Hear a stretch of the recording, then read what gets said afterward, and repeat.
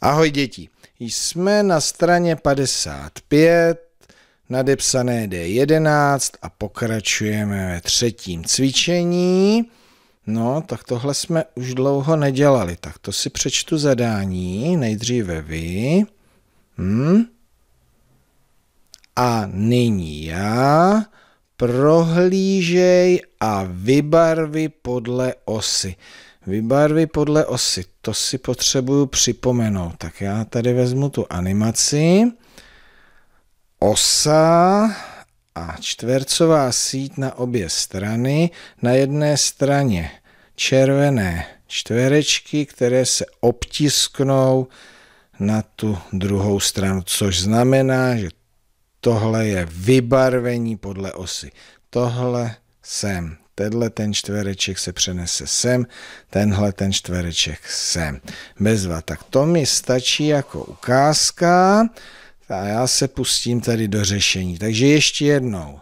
Tenhle ten čtvereček se přenese sem, tenhle sem a tenhle sem. A já si myslím, že se vám to už dostatečně připomenu, takže teďka vy, ano? Ten zbytek samostatně.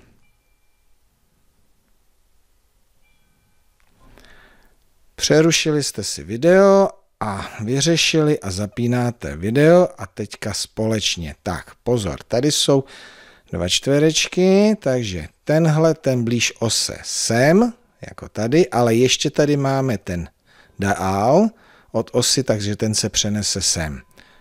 Tenhle ten blíž k ose, tenhle ten dál od osy, takhle, takhle. Vzniknul nám takový velký obdelník a teď tady máme ten schod. Tak ten schod by musí být tady na té druhé straně. Tak teď to zkusím přenést malinko jinak. Tady jsou tři, jeden, dva, tři a tady jsou čtyři červené čtverečky, jeden, dva, tři, čtyři.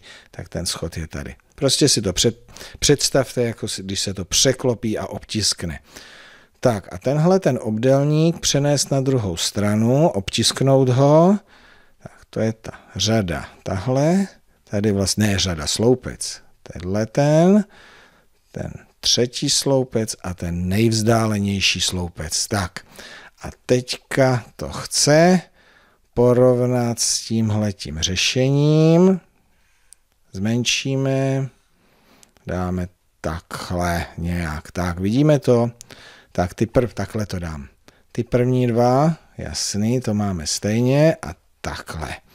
A tyhle máme také stejně. No a povedlo se vám to? Tak to jsem rád, protože to není úplně jednoduché a ne každý to umí.